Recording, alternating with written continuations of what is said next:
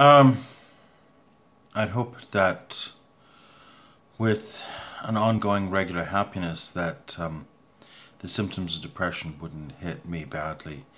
But it's been building over the last few days. It's not Christmas related. Christmas was actually pretty good. Um, not very stressful for me. It actually went really well, better than I'd hoped.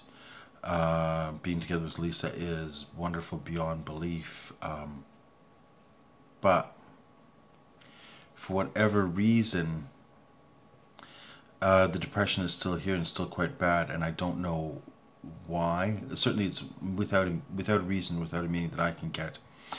And uh, yeah, yesterday was I spiraled downward a lot further than I should.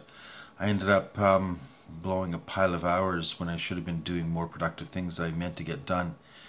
And I just, I mean, I couldn't even throw the anything in the garbage. I couldn't deal with a dirty dish. I was like as I was like stuck in quicksand. This morning my brain is still like in a complete muddle.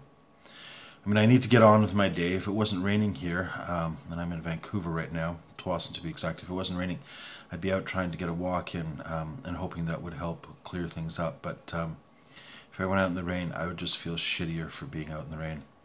Right? It's the depression just, it doesn't, I mean, it clearly is like, when I'm feeling eh, I can, my mood has no relationship with the depression, and the depression is clearly something fundamentally different than my mood.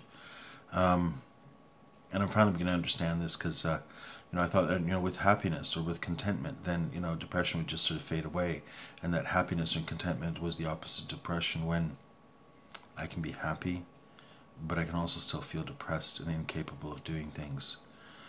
And I'm trying to come to terms with this, and it's it's frustrating. I was going to say it's depressing. Well, it is depressing, but it's frustrating because I don't want it to be like this. Um, I want to not be feeling like this, and I just don't know what to do.